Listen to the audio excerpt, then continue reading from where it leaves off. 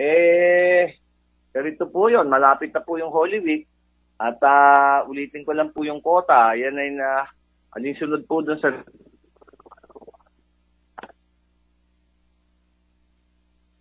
9-2021.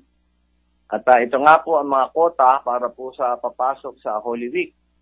Ay ah, 500 po ang maximum na makakapasok sa Binavista, 1,000 po sa Santa Cruz, 1,000 sa Mugpo, sa Turios po ay 2,000, sa Buwak po ay 2,000, sa Gasan po ay 500, yung mga non-appors, tama po yung LSI dyan, at yung travelers or tourists po ay 750 sa Gasan po, no?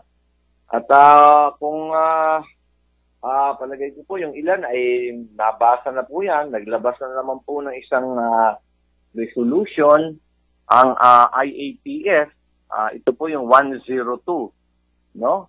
At ah, sinasabi po doon ay ah, pagsuot palagi ng mask at saka face shield, pero yung yung tamang pagsusuot. Kaya nga po yung yung mask daw ay nakababa at hindi man nakatakip sa ilong, hindi po ganun yun. At tinatakpan po talaga dyan ay yung ilong at bibig.